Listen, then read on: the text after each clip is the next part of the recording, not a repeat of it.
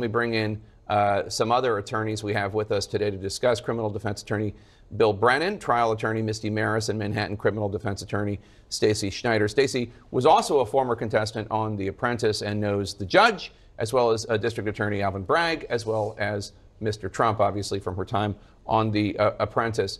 Uh, let's start with you, Bill Brennan, uh, because right now this uh, testimony from Gary Farro, who worked for Michael Cohen, uh, is looks like it's leading up towards evidence of this LLC uh, corporation, which some might call a shell corporation, to hide the payment that he made to Stormy Daniels on Trump's behest. That is the allegation, anyway, Mr. Brennan.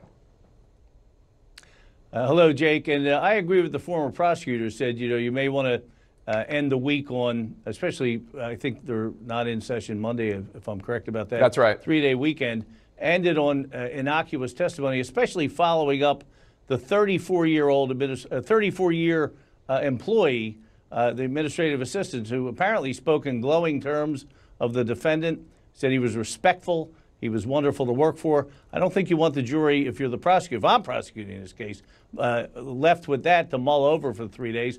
Plus, you need this type of kind of, uh, you know, boilerplate innocuous testimony to corroborate the later uh, allegations uh, of Cohen and the papers that'll go in. So it's it's not going to uh, always be as salacious as Pecker was, and you have to fill in with these, you know, fill in the blanks witnesses. Stacey, uh, tell us about Rhona Graff. Uh, do you know her at all? Have you encountered her at all? What is your experience with her? She obviously yes. was tr- uh, Trump's longtime assistant who testified for about half an hour earlier today. Yes, Rhona is the loveliest woman on the planet. When I was on the show, if the we wanted to stay in touch with Donald Trump after the show, the person we were told to contact is Rhona. She was indeed his gatekeeper. She had an amazing relationship with Donald Trump. I always wondered how she worked for such a difficult boss. She was always pleasant. Um, and I think this was very helpful after David Pecker's testimony, which was really damaging for Donald Trump about all this alleged nefarious conduct to have somebody soften him like Rhona, who still, you know, who's cared about him all these years. I understood I wasn't in the courtroom, but um, after she got up and, and left to leave the testimony, I think uh, Donald Trump stood up and touched her hand. And that's a big difference from what his behavior during jury selection yeah. when the jurors were entering the room. He didn't even stand up for them, but he stood up for Rhona today. So, Misty Marris, let me tell you some of the stuff going on in the in the courtroom uh, right now.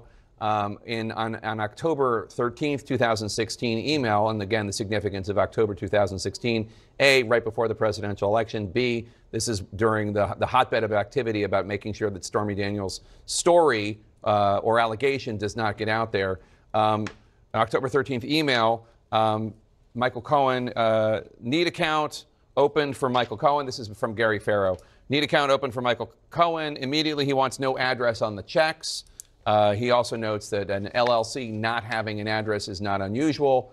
Farro says that Cohen called to set up an account for Resolution Consultants LLC.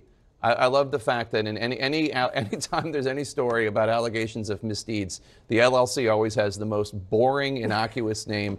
And that's one for the history books, Resolution Consultants LLC. I'm already already falling asleep. But, but obviously, uh, it was anything but boring what was going on, Misty.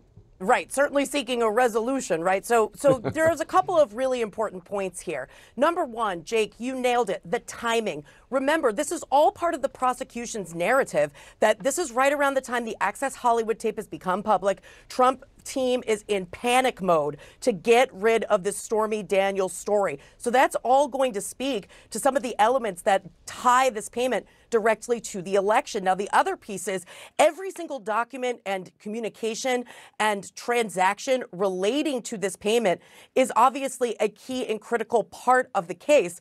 And to have these shell companies, this is all speaking to that idea of a conspiracy trying to mask these payments as something that they're not. And remember, that is a fundamental part of the prosecution's case as far as this all being unlawful conduct because the payments themselves aren't unlawful. It's that were they properly reported? Were they related to the campaign? Were they related to the election? So all of this testimony, while foundational, authenticating documents, really, really important to the merits of the prosecution's case. Let me call on my favorite, uh, my, my fellow, rather, Philadelphian, uh, Mr. Brennan, um, and permit me a moment of geographical snobbery because Delaware is being raised. The jury is seeing pages of documents that show Resolution Consultants LLC was created by Michael Cohen as a Delaware entity. Uh, we like to make fun of New Jersey and Philadelphia. And, and Bill, maybe you can explain why Delaware is always where these shady corporations are headquartered. I can, uh, Jake, because uh, Delaware many years ago uh, crafted uh, laws of incorporation that were very favorable uh, for those who wish to incorporate. So that's why we see, I think per capita, uh, it's the out of the uh, 50 states, it's the number one. Uh, but I'd, I'd just like to respond to a couple of the comments that I heard. Sure. It's probably just the DNA uh, that I have being a defense lawyer. You know, you have to remember that the defense here is likely to be, and I think uh, we've seen a preview, is that payments, if, if they were made, and if they were made to these uh, individuals, Ms. Clifford and uh, Ms. McDougal, they were paid to uh, avoid a very embarrassing and shameful uh, scenario that uh, the defendant would encounter with his wife and family. And, uh, you know, that, that sells to people. And I think that when you uh, look at, I wasn't in court today, you know, I just know what I've read and what I've heard from, from you guys. But uh, when you think about this prosecution, they have to get it to the other crime to, to make the felony stick. They have to show that if these things were done, they weren't to avoid uh, personal problems. They were to affect either campaign finance laws or the election. And I, I thought I read or heard that Mr. Pecker stumbled into some type of meeting in the White House where Director Comey and Secretary Pompeo were there. And uh, the prosecution seems to be saying, well, you were in the meeting with two big officials. I mean, that doesn't make him a co-conspirator. That makes him Forrest Gump.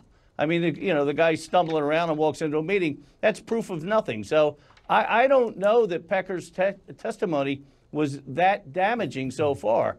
I, I suspect they'll fill in the gaps or attempt to fill them in with Cohen, and I suspect that we'll see a much more aggressive line of cross examination with him.